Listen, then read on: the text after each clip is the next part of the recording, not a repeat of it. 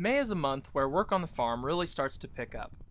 With the rising temperatures and spring rains, farmers must act quickly to stay ahead of the game.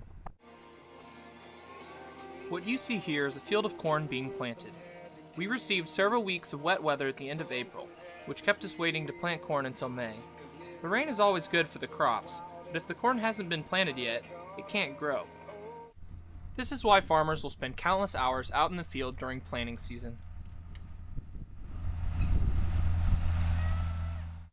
Thankfully, we finished planting and our corn has grown since. With the corn in the ground, we can sit back and enjoy the rain.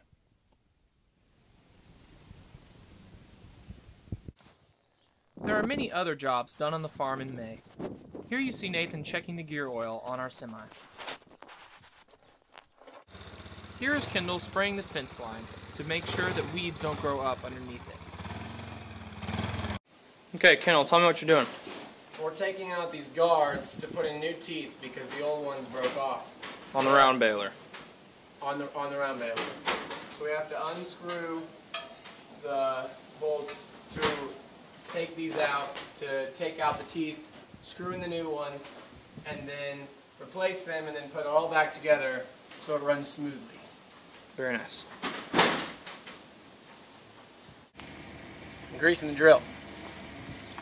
Greaser right there.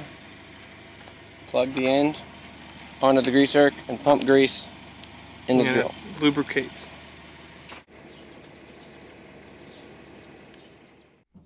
Another thing we did this May was build a new fence. The old fence was very old and needed to be replaced. built. We got our first wire strung. There's a tree we're taking out. To build a fence, we first laid out a wire, as Nathan said, and then began drilling holes evenly spaced along the wire for hedge posts.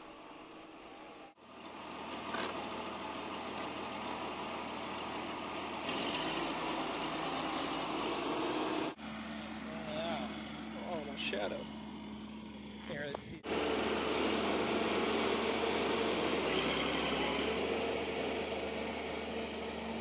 Very nice.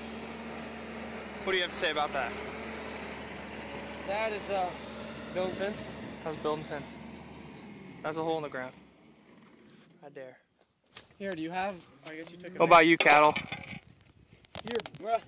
Film me doing this. The next thing we do is pound steel posts in with a tool called a post driver. First, you gotta make sure it's lined up. All exactly straight in the line. Yeah. Then.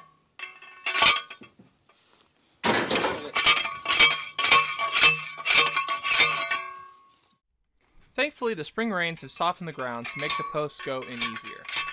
Otherwise, this can be a pretty difficult task. Once the hedge posts are in, we make sure they are in a straight line, as Kendall said, and then we fill in the area around the posts with the gravelly material that will keep them in line.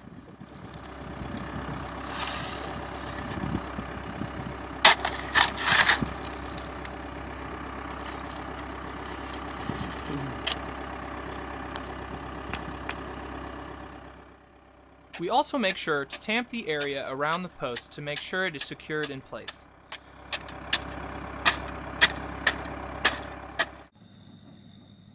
The final step in the fencing process is to attach the barbed wire to the posts.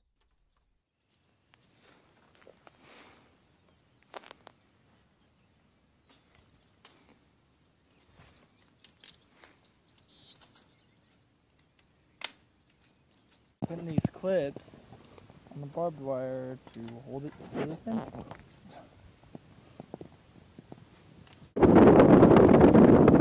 Finished it.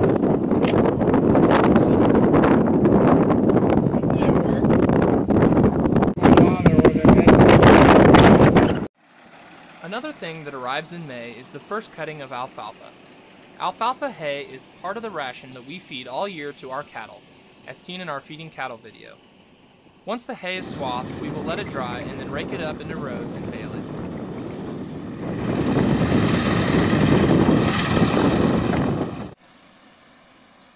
As you can see, it takes quite a bit of alfalfa to last us the whole year.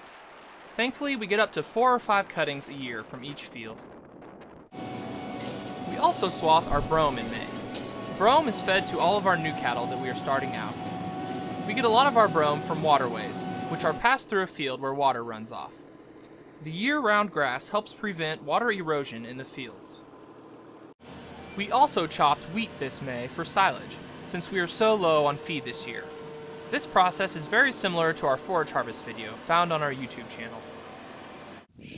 But, as I mentioned in the April video, we are still low on feed from the drought this year. Chopping wheat for silage will help, but we are still selling more cattle than we are buying. Here my dad and I load some cattle up to take to the sale barn.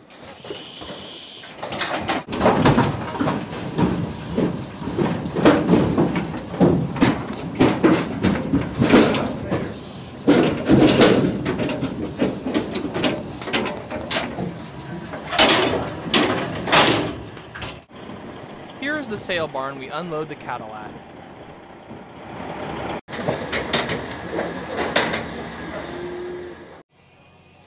Cattle will be sold here at Farmers and Ranchers Livestock Sales in Salina, Kansas.